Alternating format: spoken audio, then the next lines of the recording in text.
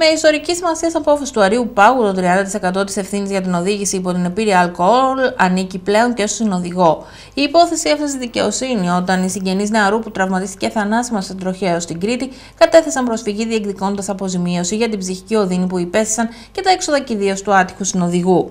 Όπως αναφέρει η απόφαση του Αρίου Πάγου, από τα πραγματικά περιστατικά προκύπτει ότι ο Θανό γνώριζε ότι ο οδηγός είχε καταναλώσει νόπνευμα, ενώ επίσης μπορούσε να γνωρίζει ότι εξ αυτού του λόγου είχε πλέον μειωμένη ικανότητα για οδήγηση. Το γεγονός αυτό, όπως υπογραμμίζεται, θεμελιώνει συντρέχον πτέσμα. Ω αποτέλεσμα, οι δικαστές κατέληξαν ότι το ποσοστό συνυπετιότητα τους φανόντο ε, συνοδηγού στη ζημία που υπέστη εξαιτίας του ατυχήματος λόγω αυτοδιακινήσεως πρέπει να προσδιοριστεί σε 30%. Έτσι, αν και ο Άριος Πάγος άναψε το πράσινο φως για αποζημίωση συγγενείς, κρίθηκε πως πρέπει να είναι μειωμένη κατά 30%.